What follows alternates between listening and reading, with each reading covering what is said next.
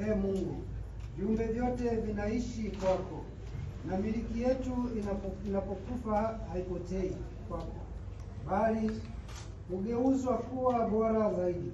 Basi kwa kuomba sana kwa wema na huruma yako, mwirehemu roho ya mtumishi wako Benjamin, ane- uyafute makosa yaliyompata alipokosa kuitimiza mapenzi yako kwa hila ya shetani.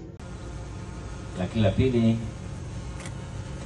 nimefarijika sana katika nafsi yangu kufanikiwa kufika leo kama kituo cha kwanza cha ziara yangu ya mkoa wa Mtwara.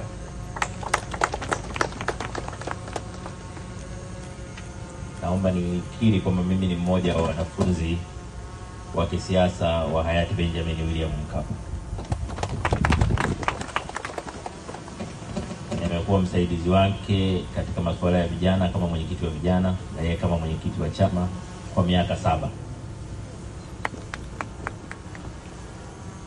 na mapema baada ya kupata uwenyekiti wa vijana timu wa taifa, siku moja aliniuliza, Chimbi, elimu yako kiasi gani? Nikaambia mzee, na shahada ya kwanza vijana. Sasa na muigiza na nyinyi mtajua ndio ndacho alichosema. Hiyo mwenyekiti wa vijana haitoshi kabisa hiyo.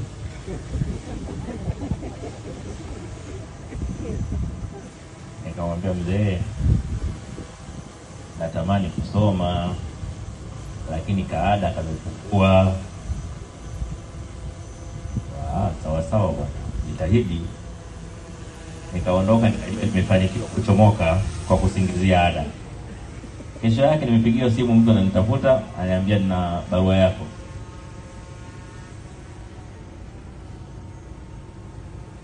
Nikakutana naye akaniambia, Mheshimiwa Rais amesema amefuatilia ada ya Mzumbe na chuo cha Dar es Salaam haizidi milioni mbili. Ulisema una tatizo la ada, hii hapa.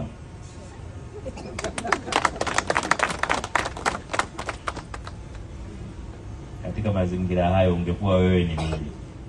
Huyu ni rais na mwenyekiti wa chama amekuletea ada, shule unaenda wendi tena kwa kasi ya nini? Kasi ya umeme, kasi ya? Ya umeme.